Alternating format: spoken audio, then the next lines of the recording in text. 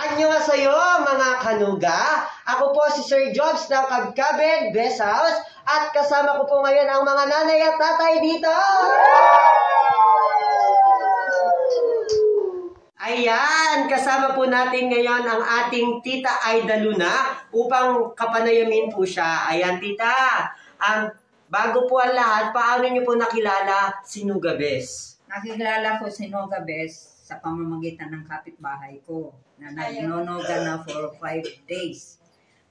At ah, hindi niya ako in-invite dahil sa curiosity, ako ang nagpresenta ng sumama. Ayun! Kung nakilala si Nugabes, ano Ang daman ko, main concern ko ay ang aking diabetes na 10 years, ah, more than 10 years na, na nagpapahirap na sa akin dahil hindi na ako nakakakain ng normal.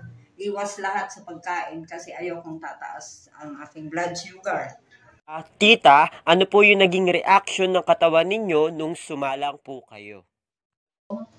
Nilagnat ako, ah, pero hindi ako natakot doon sa ano. Kasi inisip ko, through sa paliliwanag ng mga staff natin dito, lalo na si Sergio, na we could expect a healing reaction. So, tita, ano po ang naging improvement nyo po simula po kayo nasala kay Nugabes?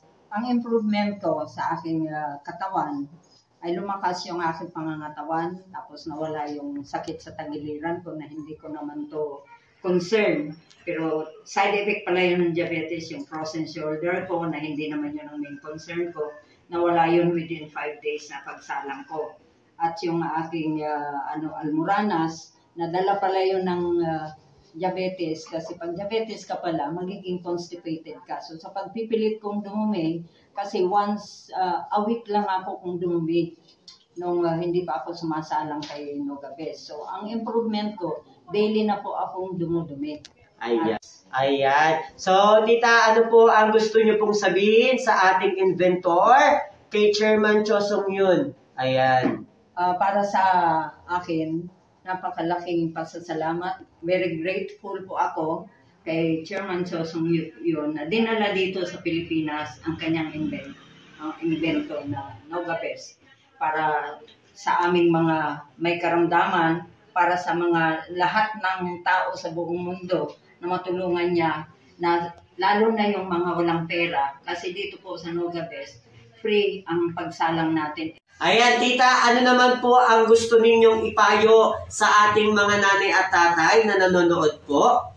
Ang uh, may papayo ko lang sa lahat ng aking classmate dito sa Nova, yung regular, first time, at saka yung palagian na na pumupunta dito.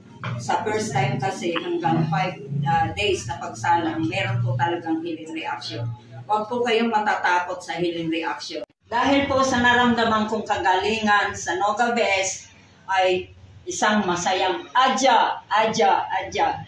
Ayan po ang buong kwento ng ating tita Aida Luna dito sa Nugabes Kabkaben. Muli po, ako po si Sir Jogiel Tabane ng Nugabes Kabkaben. Kamsahamnida!